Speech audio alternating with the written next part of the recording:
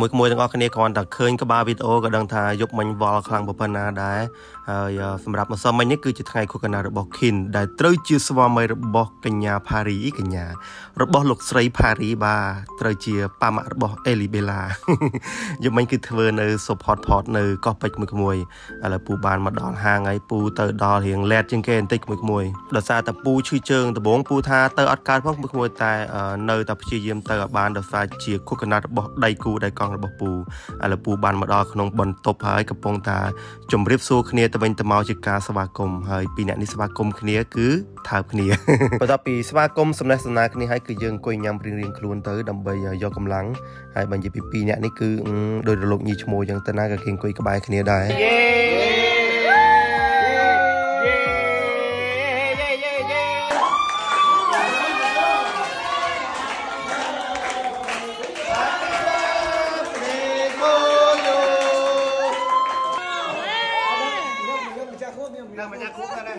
Oh,